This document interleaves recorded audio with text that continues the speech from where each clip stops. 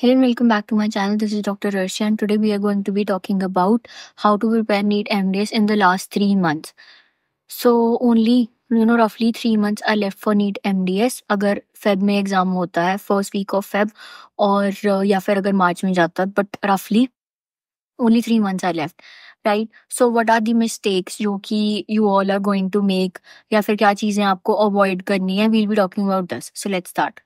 so the first and the biggest mistake you all are going to make is starting a new book or new subject or new topic. So this is something you should be avoiding at all costs क्योंकि this is the time for revision अब आपको revision अपनी start कर देनी चाहिए instead of starting something new whatever topics you have read whatever books you have read from or whatever subjects you have read you should only focus on revising those rather than starting a new thing Okay even if you start even if you think कि हम start कर देंगे या मैं start कर दूँगी कुछ subject या फिर कुछ टॉपिक या फिर मैंने कही, कोई नई एमसीक्यू बुक से एमसीक्यू सॉल्व करने की कोशिश करूँगी तो it is not going to happen okay you will have only less time you will be left with less time for your revision so you should not be starting anything new focus on subjects, focus on the topics, focus on the books you've already read or the mcqs you've already solved. Focus on revising those first. Okay? But there is an exception अगर आपने important subjects like oral pathology या फिर general medicine अगर आपने ये subjects नहीं किए हैं you still need to complete the subjects first only then you should be doing something else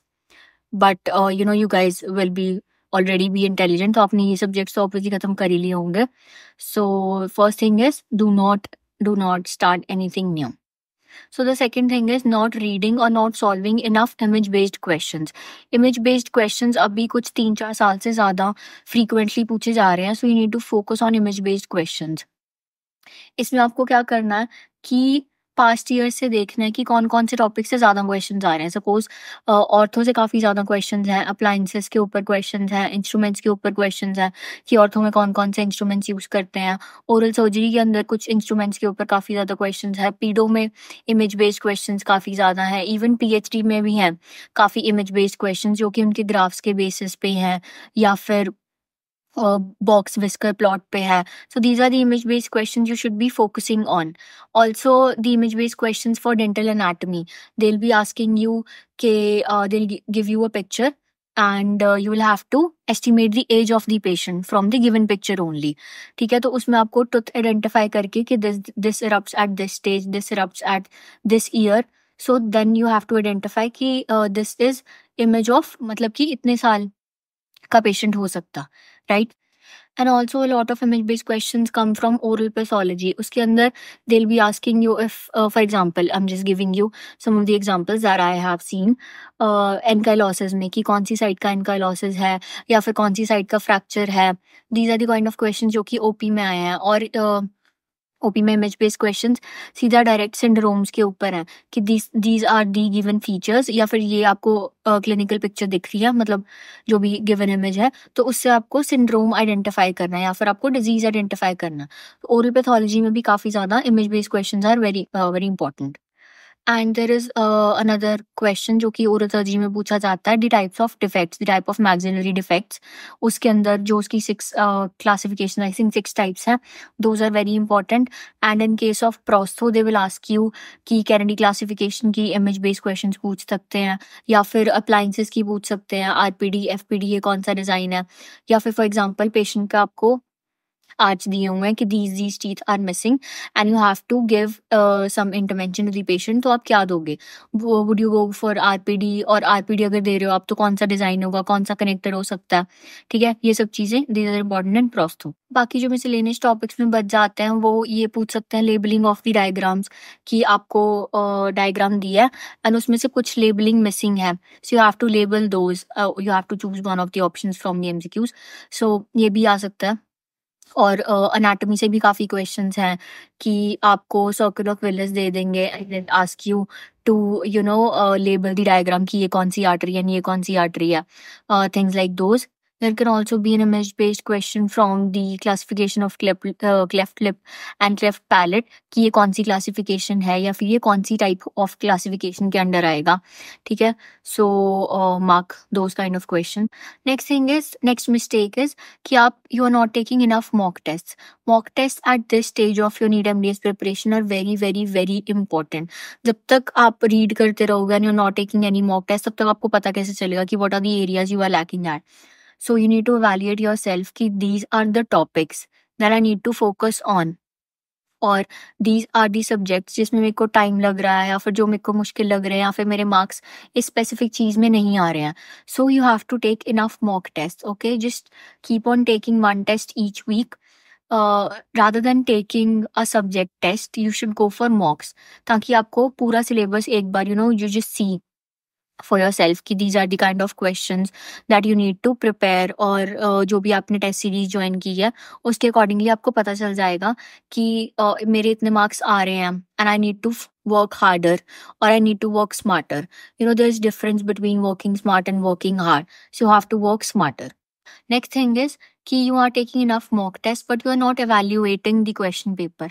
मतलब कि कि आपने टेस्ट तो दे दिया बट उसके बाद आपने अपनी मिस्टेक्स नहीं देखी कि ये ये क्वेश्चन आपके गलत थे, और इन इन चीज़ों को आपको दोबारा पढ़ना पड़ेगा। या फिर एक कोई स्पेसिफिक क्वेश्चन था, उस पर आपने ये सोच के सपोज़ बी ऑप्शन टिक किया but the answer was actually C so you have to see कि उस टाइम पे जब आप टेस्ट दे रहे थे, तब आपका थॉट प्रोसेस क्या था? और जब आपने एक्चुअल में आंसर देखा, उसके बाद आपका थॉट प्रोसेस क्या था? क्यों आपने स्पेसिफिक वो बी सोचा या फिर क्यों वो आंसर सी था? Okay so you need to evaluate your question papers आपको अपने टेस्ट के बाद इवेल्युएशन करनी ही करनी है कि ये ये टॉपिक्स पे मेरे को दिक्कत आ रही है या फिर ये मेरा सब्जेक्ट वीक है या फिर इस स्पेसिफिक क्वेश्चन के अंदर मैंने ये सोचा था तो मेरे को यहाँ पे मैंने गलत किया। So you need to evaluate that और कुछ क्लासिफिकेशंस हैं और कुछ चीज़ें एक्स्ट्रा हैं जो आप जब आप अपने मॉक टेस्ट देखोगे तो आपको पता चलेगा कि यहाँ पे मैंने गलती करी थी और इसका कुछ एक्स्ट्रा मटेरियल भी है। Extra material not as in कि आपको वापस से बुक से जाके पढ़ना just some information that you did not know okay सबको आपको याद रहेगा कि हाँ मेरा ये क्वेश्चन गलत था और मैंने ये ऑप्शन टिक किया था।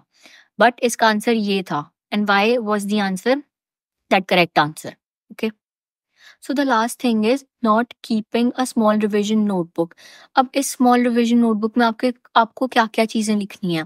You have to write some of the classification जो आपको डिफ़िकल्ट लग रही हैं और some of the one liners one liners तो आपको लिखने ही लिखने हैं इस नोटबुक के अंदर for dental anatomy for oral pathology and for general medicine these one liners are going to be very important so the first thing is you have to write the one liners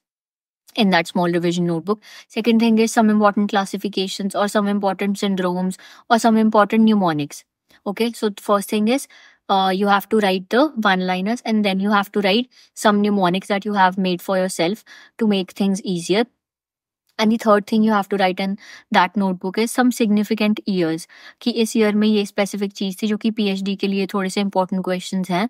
तो you have to write that in your small revision notebook So the next thing you have to write in that notebook is specifically oral pathology के लिए you have to make smaller table मतलब you have to make small tables जहाँ पे आपको common चीज़ें लिखनी है। For example radiography के अपियरेंसेज हैं। जैसे कि स्नोबॉल अपियरेंस है, ठीक है? या फिर सॉरी स्नो फ्लेक अपियरेंस है। ये कौन से कौन से डिजीजेस में दिखती है? या फिर हनी कोम्ब अपियरेंस है, ठीक है? ये कौन कौन से डिजीजेस में या फिर डिसऑर्डर्स में है? या फिर टूम स्टोन अपियरेंस कौन से डिसऑर्डर मतलब उसकी रेडियोग्राफिक अपीयरेंस कौन कौन से डिसऑर्डर्स में है। These are the kind of things you have to do you have to write in the small notebook and for pharmacology I had already uploaded a video जहाँ पे मैंने आपको बताया था कि व्हाट स्पेसिफिक पॉइंट्स जिसके आपको नोट्स बनाने हैं, जैसे ये ड्रग ऑफ़ चॉइसेस हैं। So these are important one liners कि ये स्पेसिफिक डिज़ीज़ की ये ड्रग ऑफ़ चॉइस है, या फिर इस ड्रग का एक स्पेसिफिक साइड इफ़ेक्ट है, या फिर एक साइड इफ़ेक्ट और कौन कौन सी ड्रग्स का हो सकता है, जैसे हेपेटोटॉक्सिसिटी है, वो इन सेड्स करा रहे हैं, ठीक है? उसके बाद ऑटोटॉक्सिसिटी ठीक है, ये सब चीज़ें जो हैं और प्रेगनेंसी के अंदर कौन सी ड्रग्स कॉन्ट्रा इंडिकेटेड है प्रेगनेंसी के अंदर कौन सी ड्रग्स सेफ़ है। तो these are the kind of one liners और these are the kind of points जो कि आपको लास्ट में रिविजन के लिए बहुत ज़्यादा हेल्पफुल होंगे। So you should also be writing these kind of things in that notebook and for general anatomy general anatomy के भी काफ़ी ज़्यादा पॉइंट जो हैं जो आप भूल जाते हो। So you should write those points in that notebook and for general medicine you have to write कि कौन से मर्मर्स कौन से डिसऑर्डर में है, कौन से डिज़ीज़ में है। सो जनरल मेडिसिन में इतनी ज़्यादा कुछ इंपॉर्टेंट ऐसे नहीं है कि you have to make tables उसमें ज़्यादा आपको more is the reading part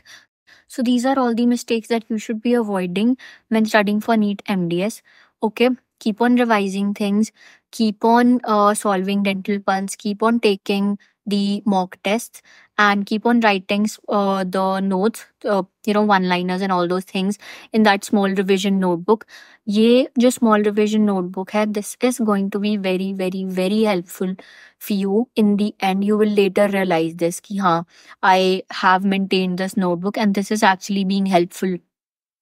for you. Okay? And obviously dental pulse तो सॉल्व करनी ही करनी है but even if you are reading from some other M C Q book you should keep on revising from that as well but unit you need at least four